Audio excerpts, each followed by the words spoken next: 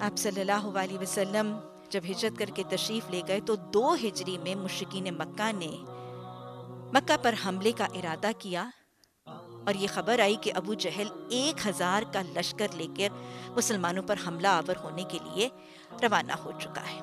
مسلمانوں نے جب لشکر تیار کیا تو تین سو تیرہ کی نفری، یہ جنگ بدر کی نفری ہے۔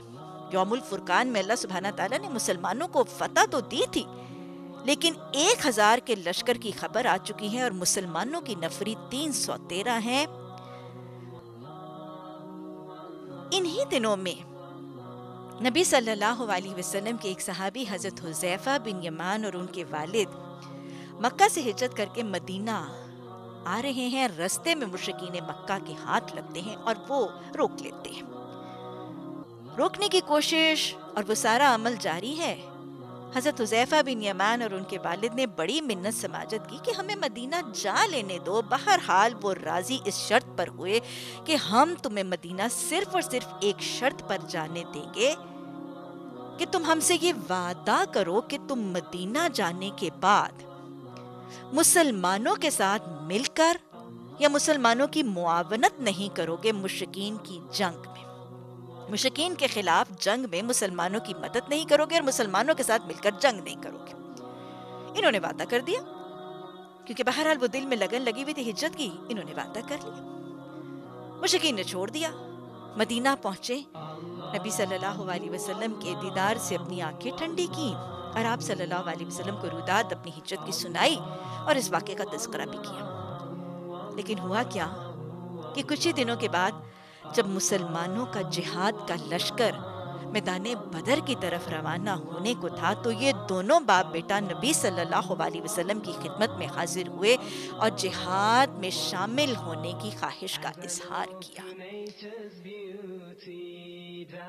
میرے ایفائے عہد کے نمونے رسول اللہ صلی اللہ علیہ وسلم نے قیامت تک کے لیے، امت کے لیے بہترین ایفائے عہد کا نمونہ وضع فرما دیا۔ آپ صلی اللہ علیہ وسلم نے حضرت حضیفہ بن یمان اور ان کے والد کو کیا فرمایا تھا؟ حضیفہ تم اپنا عہد نبھاؤ۔ یہ عہد کس کے ساتھ تھا؟ یہ عہد تھا کافروں کے ساتھ، بت پرستوں کے ساتھ، مشرکوں کے ساتھ، ظالموں کے ساتھ، ہجرت سے روکنے والوں کے ساتھ۔ یہ عہد تھا نبی صلی اللہ علیہ وسلم کے گستاخوں کے ساتھ، آپ صلی اللہ علیہ وسلم کی جان اور خون کے پیاسوں کے ساتھ، آپ صلی اللہ علیہ وسلم کے ساتھ جنگ کرنے والوں کے ساتھ عہد تھا۔ ایسوں کے ساتھ کیا جانے والا عہد بھی آپ صلی اللہ علیہ وسلم نے یہ نہیں کہا کہ مشرقوں کے ساتھ کیا جاؤ اس کو توڑ دو، نہیں۔ عہد کسی کے ساتھ بھی ہوگا۔ جب وہ عہد ہے تو اس کو وفا کیا جائے گا۔ عرف بالعقود کہہ دیا گیا۔ اور پھر اس عہد کے نبھانے میں نقصان کتنا بڑا تھا؟ مسلمانوں کا وہ جو مٹھی بھر لشکر تھا، پہلے تین سو تیرہ تھے، ان کے تیسرے، تیسرا حصہ تھا ان کے لشکر کے۔ اس میں ان دو باپ بیٹے کو روکنے سے مسلمانوں کا لشکر دو افراد چار ہاتھوں سے محروم ہو جاتا۔ اور پھر اس اس عہد پر پورا ہونے سے دو مسلمان جہاد کے اجر سے محروم ہو رہے ہیں۔ لیکن نہیں۔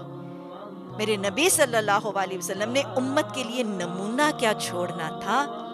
آپ صلی اللہ علیہ وسلم نے حضرت حضیفہ بن یمان کو یہ تاکید کر کے کہ جاؤ حضیفہ اپنا عہد نبھاؤ۔ رہتی دنیا تک مسلمانوں کو یہ سکھا دیا، یہ بتا دیا، یہ نمونہ وضع کر دیا کہ عہد جس کے ساتھ ہو۔ عہد جس کے ساتھ ہو ہر حال نبھانا ہے۔ عہد چھوٹا ہو بڑا ہو، اس کو وفا کرنا ہی کرنا ہے۔